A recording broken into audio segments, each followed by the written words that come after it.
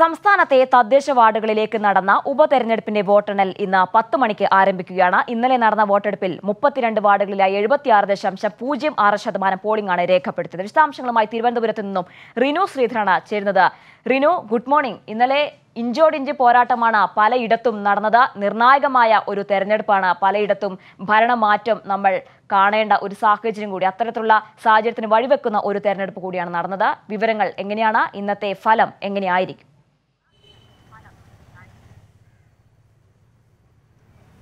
ജിന വിവിധ തദ്ദേശ സ്വയംഭരണ സ്ഥാപനങ്ങളിലേക്ക് നടന്ന ഉപതെരഞ്ഞെടുപ്പിൽ ഇന്ന് പത്ത് മണിയോടുകൂടി തന്നെ ഫലം പുറത്തേക്ക് വരും. പത്ത് മണിക്ക് വോട്ടെണ്ണൽ ആരംഭിക്കും എന്നുള്ളതാണ്. ആരംഭിച്ചു കഴിഞ്ഞാൽ നിമിഷങ്ങൾക്കകം തന്നെ ഫലം പുറത്തു വരും എന്നുള്ള ഒരു പ്രതീക്ഷ തന്നെയാണ് ഉള്ളത്.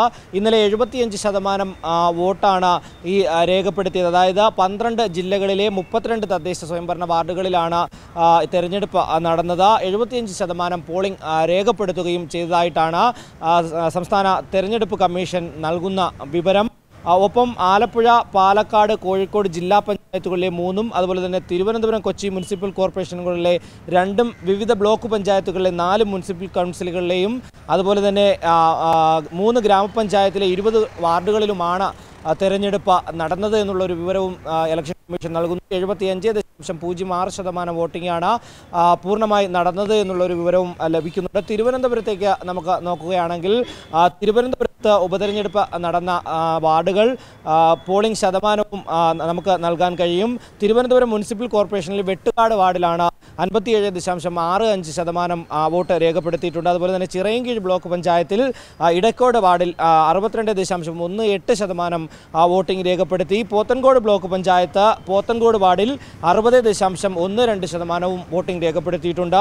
അതുപോലെ തന്നെ വിതിര ഗ്രാമപഞ്ചായത്തിലെ പൊന്നാഞ്ചുണ്ട് വാർഡിലും തെരഞ്ഞെടുപ്പ് നടന്നു. എഴുപത്തിരണ്ട് ദശാംശം ഏഴ് ശതമാനം വോട്ട് രേഖപ്പെടുത്തി ഏറ്റവും കൂടുതൽ വോട്ടിംഗ് ശതമാനം രേഖപ്പെടുത്തിയിരിക്കുന്നത് വിതിര ഗ്രാമപഞ്ചായത്തിലെ പൊന്നാഞ്ചുണ്ട് വാർഡിലാണ്. എന്തായാലും അല്പസമയം എന്ന് തന്നെ നമുക്ക് പറയേണ്ടി. കാരണം മണിക്കൂറുകൾക്കകം തന്നെ പത്ത് മണിക്ക് തന്നെ വിവിധ കേന്ദ്രങ്ങളിൽ വോട്ടെണ്ണലുകൾ നടക്കും. വോട്ടെണ്ണൽ ആരംഭിച്ചു കഴിഞ്ഞാൽ നിമിഷങ്ങൾക്കകം തന്നെ ഈ ഫലം പുറത്തു വരുന്നതായിരിക്കും.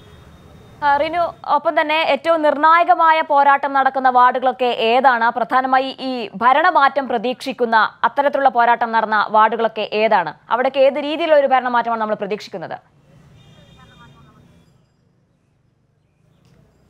തിരുവനന്തപുരത്ത് ഭരണ ഭരണ കാര്യങ്ങളെ സ്വാധീനിക്കുന്ന തരത്തിലുള്ള ഒരു ഇടപെടലുകളിലേക്ക് പോകാൻ സാധിക്കുമോ എന്നുള്ളത് നമുക്ക് നോക്കി കാണേണ്ടി വരും. കാരണം തിരുവനന്തപുരം പ്രധാനമായും മുനിസിപ്പൽ കൗൺസിലേക്ക് നോക്കുകയാണെങ്കിൽ തിരുവനന്തപുരം മുനിസിപ്പൽ കോർപ്പറേഷൻ വെട്ടുകാട് വാർഡിലാണ്. നിലവിലുണ്ടായിരുന്ന കൗൺസിലർ മരണപ്പെട്ടതിനെ തുടർന്നാണ് അവിടെ തെരഞ്ഞെടുപ്പ് നടക്കുന്നത്. അവിടെ വിജയിക്കുമെന്നുള്ളൊരു പ്രതീക്ഷയാണ് എൽ ഡി എഫിന് മുന്നോട്ട് വയ്ക്കുന്നത് അതേസമയം യു ഡി എഫും ഒപ്പത്തിനൊപ്പം നിൽക്കുവാനുള്ളൊരു സാധ്യത ഉണ്ട്. എങ്കിൽ പോലും ഭരണം അങ്ങനെ ഒരു സ്വാധീനത്തിലേക്ക് പോകാൻ സാധ്യതയില്ല എന്നുള്ളത് തന്നെയാണ് അത്തരം ഒരു സാഹചര്യമില്ല. കാരണം വലിയ ഭൂരിപക്ഷത്തിലാണ് എൽ ഡി എഫ് തിരുവനന്തപുരം നഗരസഭ ഭരിക്കുന്നത്.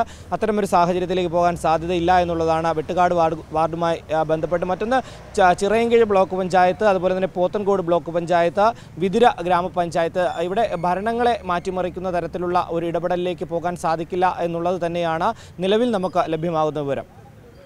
ശരി റിനു ശ്രീധരൻ വിശദാംശങ്ങൾ നൽകിയത്. സംസ്ഥാനത്തെ തദ്ദേശ വാർഡുകളിലേക്ക് നടന്ന തെരഞ്ഞെടുപ്പിന്റെ വോട്ടെണ്ണൽ പത്ത് മണിയോടുകൂടിയാണ് ഇന്ന് ആരംഭിക്കുക. ഇന്നലെ നടന്ന തെരഞ്ഞെടുപ്പിൽ വോട്ടെടുപ്പിൽ മുപ്പത്തിരണ്ട് വാർഡുകളിലായി എഴുപത്തിയാറ് ദശാംശം പൂജ്യം ആറ് ശതമാനം പോളിംഗാണ് രേഖപ്പെടുത്തിയത്.